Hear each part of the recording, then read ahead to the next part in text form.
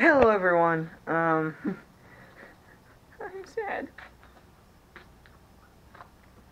Okay. As you can see, it's still pretty early in the morning. And all you hunters know, what happened? You should stay about 10, 11 o'clock. I would have. Had three come in on me. Two or three. Like two in front of me and one on my left. And they blowed me.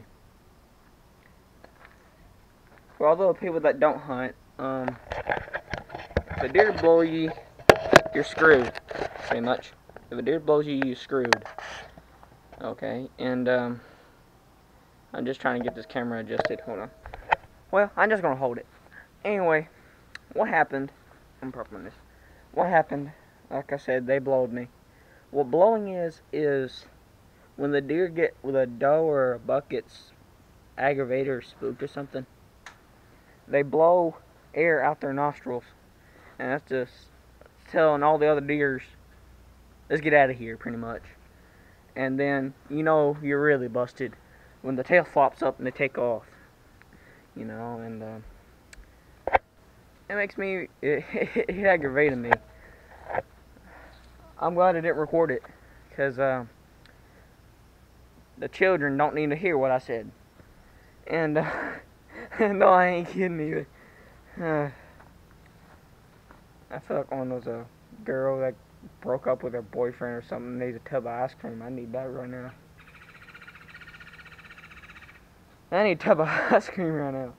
You get a tub of ice cream and just eat the whole dang thing. It's a deer that got away. And um, I was gonna shoot for you guys, but there's a plus side to that. They're over there. I just need to let them calm down, not hunt. I ain't gonna hunt. Over, I don't plan on hunting over there next week. I'll be hunting somewhere else. I'll be hunting down there at the creek or something, and over here behind my house or something.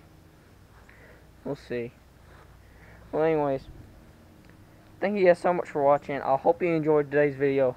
Hopefully, we get some deers in the next video. Well, everything panned out good. We got the deers to come in.